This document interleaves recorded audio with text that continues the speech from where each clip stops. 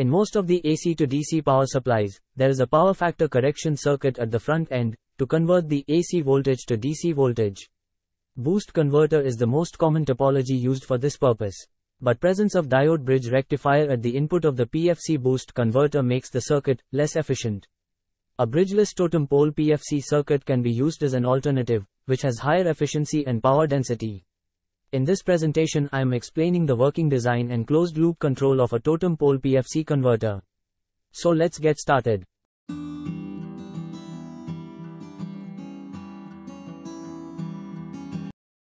This is the basic topology of a totem pole PFC converter. There is an inductor which is connected in series with the AC input voltage. There are two legs in the converter, one is called the low frequency leg and other one is called the high frequency leg. In the low frequency leg, diodes are normally used. But if you want to increase the total efficiency of the converter, silicon MOSFET can also be used. In the high frequency leg, we need to use devices which is having very low reverse recovery. So normal silicon MOSFET cannot be used. So normally silicon carbide or gallium nitride devices are used in totem pole converters, since these devices offers nearly zero reverse recovery. The totem pole PFC operates differently in the positive and negative half cycles of the AC mains input. During the positive half cycle, the device S2 is turned on with a duty cycle D. This will charge the inductor through device S2 and diode D2. Now for the remaining time of the switching cycle, that is 1 minus D duty ratio, the device S1 is turned on. This will discharge the energy in the inductor to the load.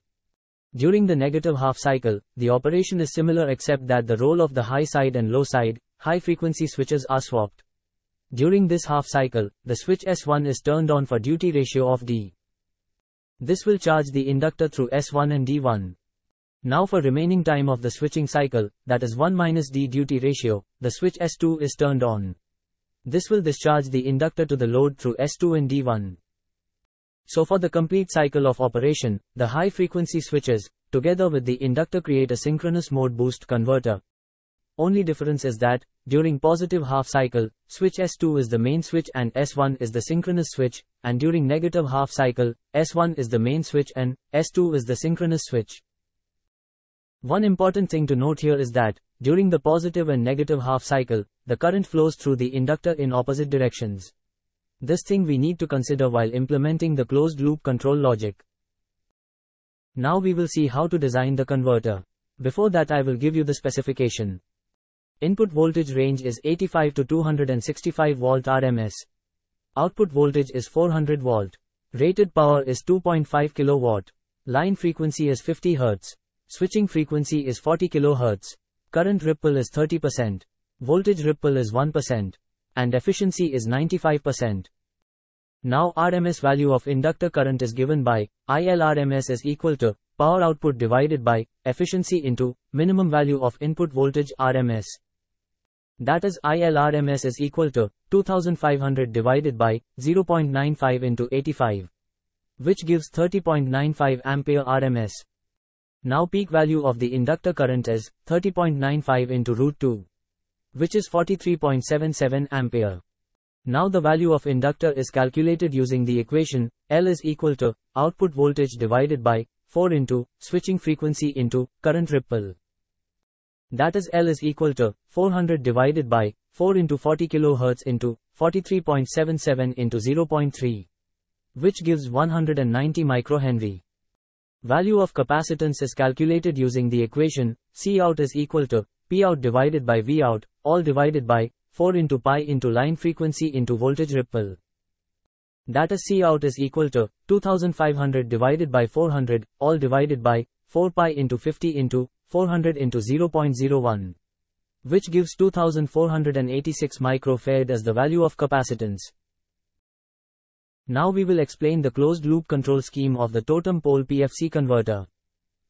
First need to sense the AC input voltage. From that we need to have a mechanism to detect the polarity of the voltage.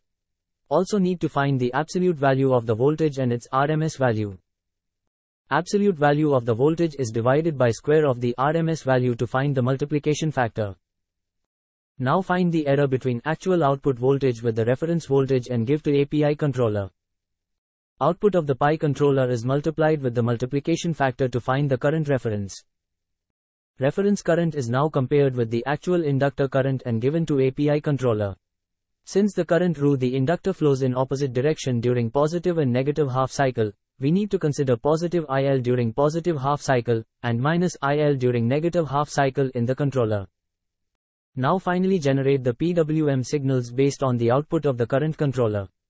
Here also we need to consider the polarity of AC input voltage, since the duty ratio, D, of the high frequency switches are different during positive and negative half cycles. In my next video I will demonstrate the MATLAB simulation of totem pole converter using this control scheme and the design inductor and capacitor values.